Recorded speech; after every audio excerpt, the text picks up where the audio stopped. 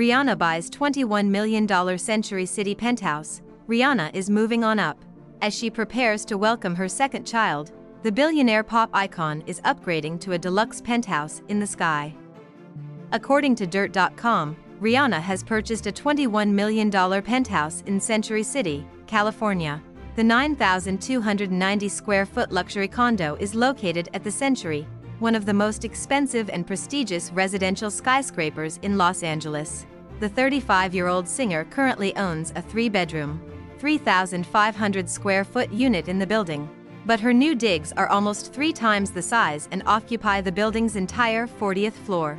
The four bedroom, 6.5 bathroom home, which she purchased from Afterpay Co.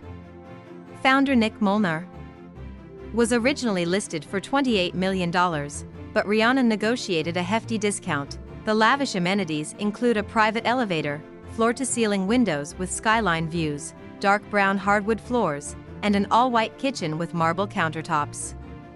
Other features include a soundproof movie theater, master suite with curved bedroom, and private lounge. Rihanna's famous neighbors at the Century include Denzel Washington, reality stars Terry and Heather Dubrow, and Candy Spelling, who lives on the two floors above Rihanna.